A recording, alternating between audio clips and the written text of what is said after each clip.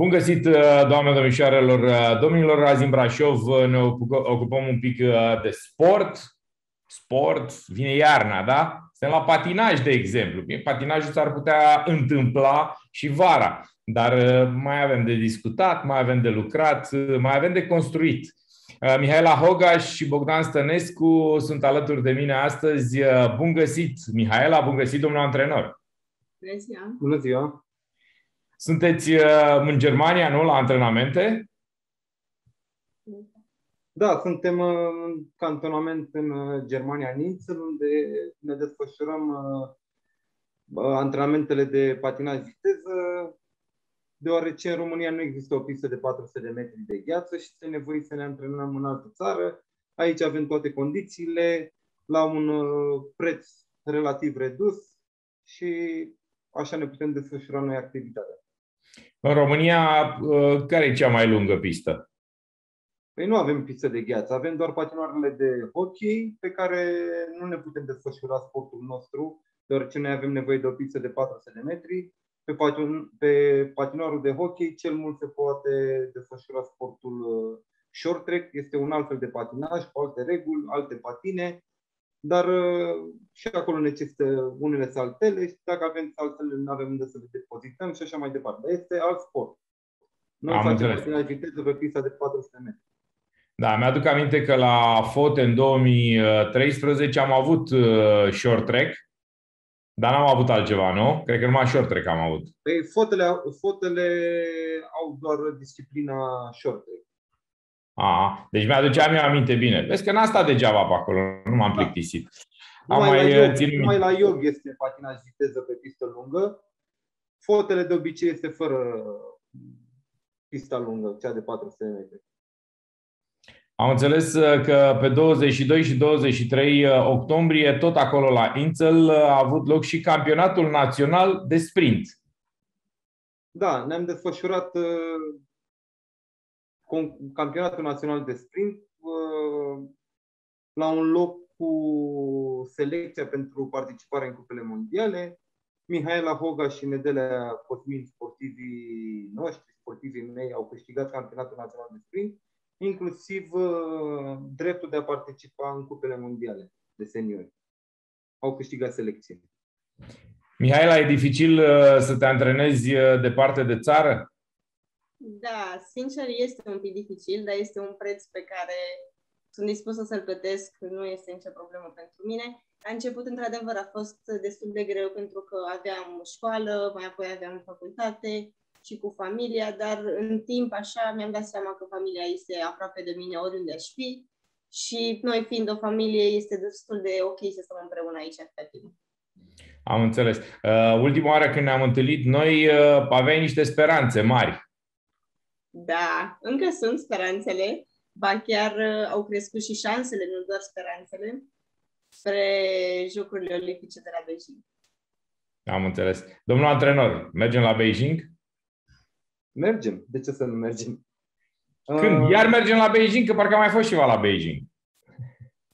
O fi fost, dar a fost, nu știu cine a fost, dar... N-am fost noi, acum e rândul nostru, ia, hai. Da, acum vedem. e rândul nostru, noi uh, ne îndreptăm cu pași repezi către Jocurile Olimpice. Strategia este bună, până acum am avut rezultate bune, doar că din toată strategia aceasta, din toată pregătirea aceasta, contează doar cele două cupe mondiale din Calgary și din Salt Lake City. Deci acolo trebuie să alergi atât.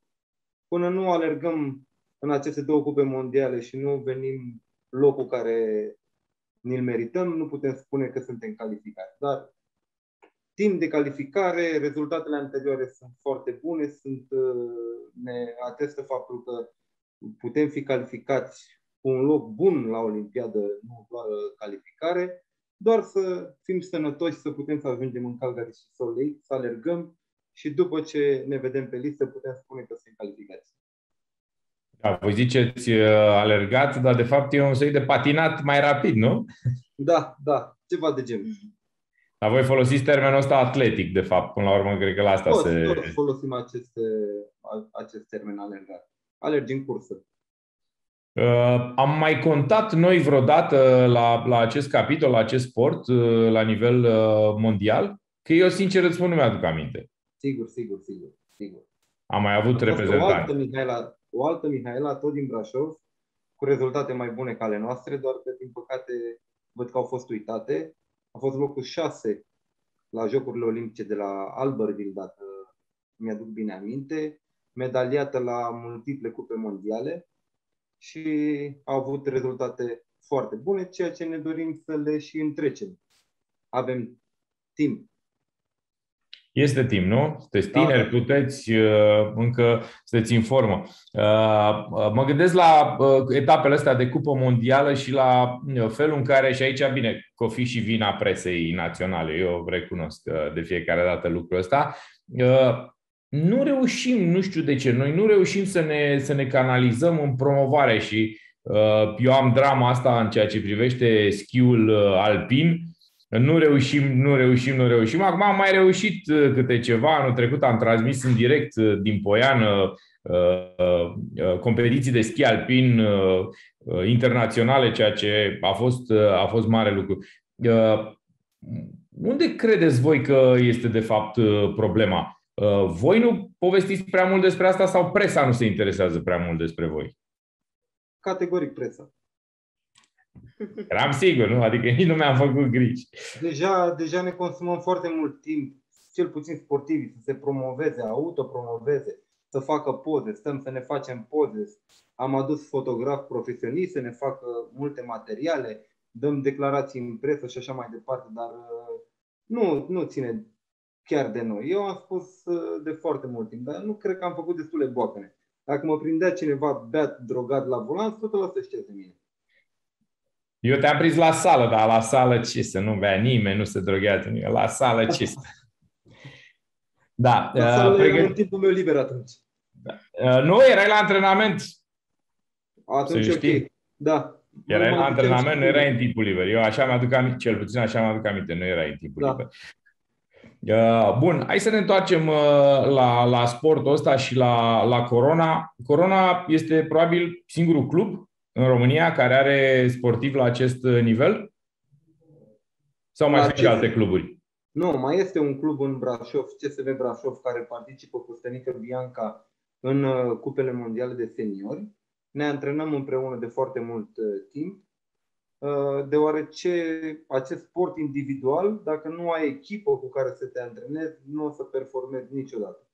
De aceea ne-am antrenat de foarte mult timp împreună și în momentul de față colaborăm cu echipa Austriei și ne antrenăm împreună, facem programele împreună și ne antrenăm foarte multe antrenamente împreună și doar așa poți să te bat la egal, de la egal la egal cu marile puteri ale patinajului. Germania, Japonia, Olanda, Rusia și așa mai departe, care au bugete nelimitate, au nu un lot, au mai multe loturi de juniori și seniori, nu mai, nu mai povestim ce au ei, știm foarte bine, dar trebuie să găsim soluții să ne putem bate de la egal, la egal cu ei. Dar în Brașov mai este un club, CSM Brașov, care are o sportivă uh, de, de valoare, oh. care participă cupele mondiale, da?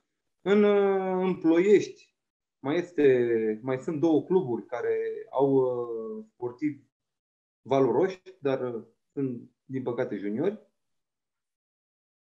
Da, mă gândesc că acum, dacă noi nu avem unde să ne antrenăm în țară, nici ei, clar, nu au unde să se antreneze. Uh, cred că pe undeva, dincolo de rezultatele sportive, uh, este un efort imens. Nu neapărat este un efort imens. Trecem peste asta că este un efort imens. Asta este sportul de performanță. Dacă vrei să faci sport de performanță, te sacrifici. Vă dau un alt exemplu. Uh, țări care au bugete mult mai mari ca ale noastre sau federații mult mai puternice Elveția se antrenează în Germania non-stop. Finlanda se antrenează exact pe această pistă din septembrie până în martie. De ce? Plătim un abonament care este chiar ieftin, cazarea este mai ieftină decât în România și ai toate uh, condițiile să te antrenezi la cel mai înalt nivel. te antrenezi numai cu cei mai buni, gheața este de o calitate foarte bună, oamenii aici iubesc sportul și te respectă. De ce spun asta? Dacă te duci pe șosea, 100% nu te, uh, noi ne antrenăm foarte mult și pe bicicletă, ca să ne facem volumul de antrenamente și volumul de ore. Dacă te duci pe șosea, absolut nimeni nu te claxonează. În România e un pic mai dificil. Dar trecem și peste asta, nu ne plângem de nimic, doar ne continuăm drumul către Jocurile Olimpice. Păi stai să, luăm, stai să mă întorc un pic așa în istorie. Mihaela, de ce te-ai apucat de sportul ăsta? Sincer, din curiozitate. Eu eram, aveam 9 ani și prietenele mele s-au dus să se dea cu rolele. Noi oricum făceam multe întreceri în fața blocului cu rolele și acolo era antrenorul. Antrenorul fiind uh, și acum uh, antrenorul meu el m-a învățat să mă dau pe role, după aia am aflat că de fapt sportul este pe gheață, pentru că nu știam. Și așa am ajuns. Am, chiar din primul an de patinaj pot să zic că am fost pe gheață, ceea ce este foarte important pentru că mergeau uh, copii care meritau și care se antrenau foarte mult. Și când am înțeles, am început așa să înțeleg care este cum este de fapt patinajul în viteză, mi-a plăcut și am zis că neapărat trebuie să fac performanță. Păi și ai făcut. Faci. Încă încerc să fac, da. da care, este, care e target? Care e targetul tău? Eu Ce fel de medalie? Ce fel de medalie? Eu încerc să le iau treptat. În primul rând, am uh, început uh, cu medalii la juniori, am venit la uh, Lillehammer, medalie de bronz, mai apoi am venit la Cupele Mondiale Under 23, am cred că 8 medalii. Și acum, în seniori, vreau să... cu tot, cu, cu, tot cu cele de clasament general, da. da. uh, și acum la senior vreau să mă calific la Beijing, acum în 2022 și sper foarte mult pentru Milano 2026, iar acolo îmi doresc foarte mult o medalie. Atunci uh, crezi tu că va fi uh, vârful uh, icebergului? Da. Da, simt că acumulez din ce în ce mai multă experiență. Simt că sunt într-o pantă ascendentă și chiar îmi dă încredere și simt că încă mai am foarte multă putere de muncă. Bogdan, cât trebuie să se antreneze un sportiv ca să ajungă măcar să se apropie de țelurile pe care le are Mihaela? Zeci de Bar- baraj, baraj. Nu, foarte mult timp. Deci, de ce ne-a luat atât de mult timp? Ca să ajungem până aici, tuturor le ia exact la fel. Nu există un. Sunt foarte mici excepțiile să fie un junior sau un neosenior să, să aibă rezultate foarte bune la senior. Necesită foarte mult timp, trebuie uh, luat treptat. Mihail a trecut prin toate etapele. Am, uh, după cum a spus, a luat medalii la junior, la neoseniori și acum atindem către mare performanță. Este un pas imens să ajungi să, să iei o medalie la seniori, dar noi suntem pe un drum ascendent, rezultatele țin cu noi, dar pentru acest sport îți trebuie foarte, foarte mult timp ca să te perfecționezi. Trebuie dovadă cei mai buni din lume la patinaj viteză au o vârstă peste 26 de ani. Noi patinăm pe un milimetru. Trebuie efectiv să înveți să, să patinezi pe un milimetru, este foarte greu, este foarte multă tehnică și da, de-abia de acum, ce să zic, de, de acum 2 ani cred că avem uh, ne putem antrena la cel mai înalt nivel. Și când spun la cel mai înalt nivel, să plecăm pe pista de gheață odată cu ceilalți cu care, ne, cu care concurăm. De, de ce? Deoarece în de foarte multe ori am plecat să ne antrenăm pe gheață când alții terminau de participat prima serie de cupe mondiale. Acum. Trist. Am... Cam trist, da. Da, dar așa, dar așa a câștigat prima medalie. Noi am Motiv? ajuns. Da, Mihail a câștigat prima medalie la, la IOG, la Olimpiada de Juniori. Am ajuns înaintea Cupei Mondiale cu două zile. Am alergat, am mai stat o săptămână, am, am alergat-o pe a doua. Așa am plecat noi, nu cu, cu foarte multă pregătire, nu cu pregătire din vară și până acolo am condus, până în Olanda. 2000 de kilometri am condus, nu ne-am dus cu avionul. Acum avem resurse mai bune. Așa. Dar de-abia de anul acesta ne-am antrenat pe gheață cum se antrenează ceilalți competitori cu care noi uh, concurăm de la egal la egal de zeci de ani. Și de aceea Mihail a zis că are putere de muncă și ne dorim să continuăm această muncă, acest program, uh, aceste rezultate încă cel puțin patru ani și atunci poate să zică că da, am ajuns la apogeu. Și acolo putem, ne putem gândi la o medalie. Da, uh, nu e cine crede că viața de sportiv uh, este ușoară, se înșeală, cine crede că vin medaliile servite cumva pe tavă, da, nu, e imposibil, nu există, nu există așa ceva. Uh, și mă mai gândesc la un lucru și e de fapt o întrebare. Vedeți ceva în urma voastră? Adică încep să vină sportivi? Avem foarte mulți copii care vin din urmă. Mihaela și colegii Bianca, Mec și echipa mare de seniori a României care iese din Brașov, sunt idol pentru cei mici. Drept dovadă, la concursurile naționale avem peste 150 de participanți. La concursurile naționale pe role. De ce pe role? Că pe role este mult mai uh, ușor de a ajunge, de a procura echipament și de a te antrena pe role. Și atunci toți sportivii legitimați din România participă în mare măsură pe role.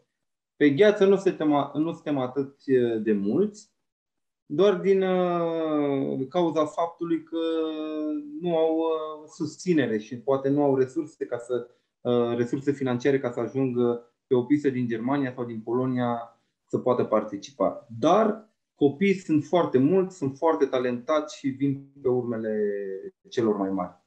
Asta ne bucură foarte mult și sperăm să dezvoltăm sportul acesta frumos pe care noi îl iubim, să-l dezvoltăm și să ajungem uh, la următoarea Olimpiadă să avem mai mulți sportivi calificați.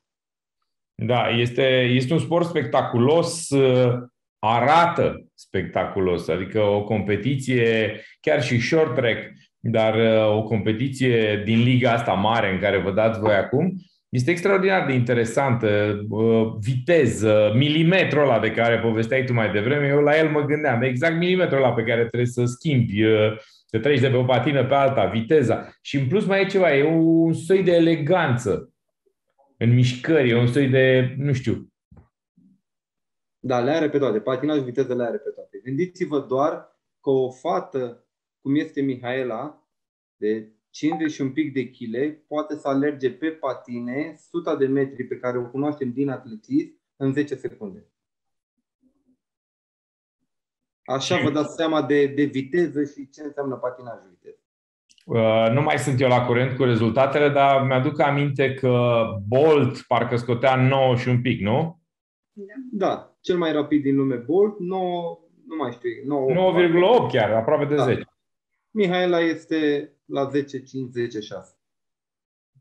Da, păi eu, cred că e o treabă, da. Ajută și patinele, mă gândesc. Da? Este un pic, da. Cine, cine-i doritor, îi punem patinele în picioare să vedem cât alergă.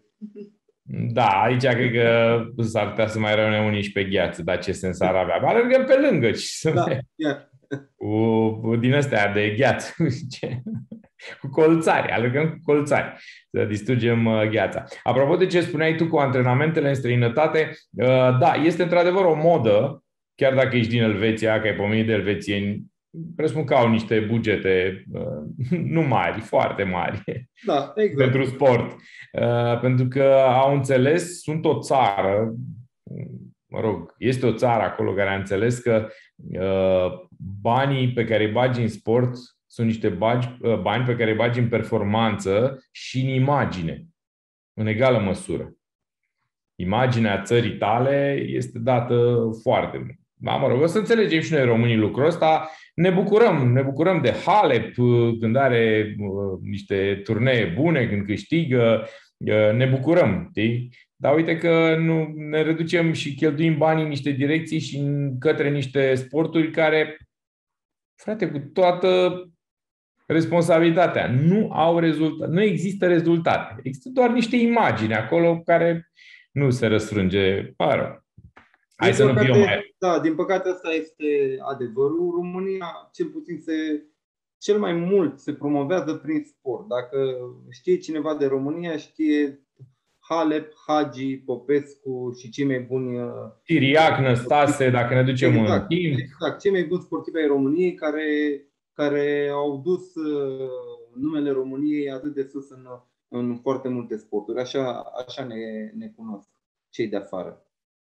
Și vis-a-vis de, de bani, da, noi nu mai vrem să ne mai plângem. Da, avem da, foarte, da nu e, știi, cu cât te plângi mai mult, cu atât uh, e mai rău. Că de fapt... Exact, noi suntem focusați pe ce avem noi de făcut. Avem Clubul Corona și municipalitatea care ne-a susținut extrem de mult și ne susține în continuare.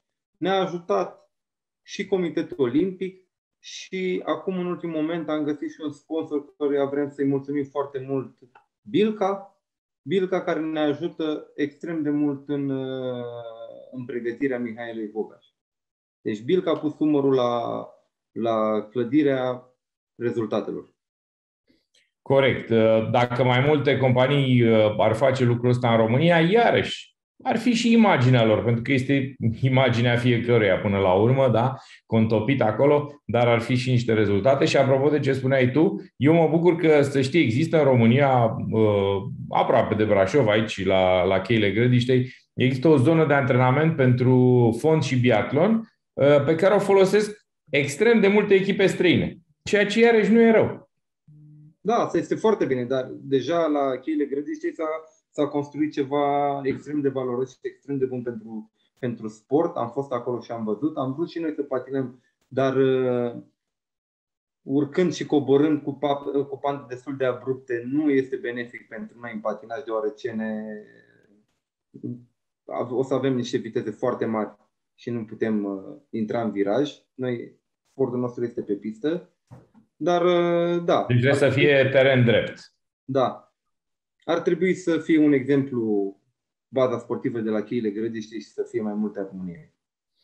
Da, chiar dacă e o bază privată, până la urmă, iarăși, ne întoarcem la bani privați. Dacă tot așteptăm de la stat, s-ar putea să nu primim nimic niciodată. Da, mă rog, acum mai așteptăm și de la ei, că până la urmă și noi cotizăm în fiecare lună. Nu, nu există luni uh, scutite. S-a întrerupt un pic, n-am auzit.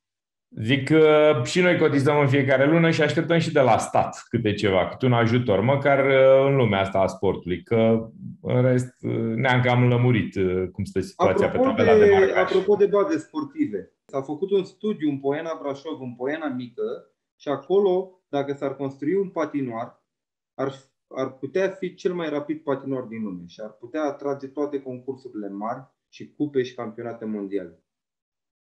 Deci s-a făcut studiu și olandezii care au construit cele mai rapide patinoare din China, Salt Lake City și Calgary, au spus că în Poiana Mică se poate construi cel mai rapid patinoar din lume. Datorită uh, altitudinii, presiunii atmosferice, climatizării, toate acestea duc uh, la a avea o pistă de patinaj foarte rapidă. Gheața diferă de la o pistă la alta foarte mult. Corect. Și lucrurile astea pe care noi, oamenii obișnuiți, nu le simțim sau nu ne afectează atât de tare. Presiunea atmosferică, pante și așa mai departe. Da, corect. Mulțumim frumos, Bogdan, mulțumesc frumos, Mihaela, pentru participarea la emisiune. Succes, sunteți departe acolo, relativ departe, suntem în Europa. Știi? Dar sunteți exact. destul de departe. Uh, succes uh, să vă iasă, să vă iasă toate planurile astea și uh, în ceea ce mă privește, așa, ca reprezentant al presei, știi? Ba, promit să fiu de fiecare dată, să zic de fiecare dată prezent. Mulțumesc frumos! Și noi vă mulțumim! Doamne, domnișoarelor, domnilor, sunt Anghiță, rămâneți alături de RTT. O seară plăcută tuturor!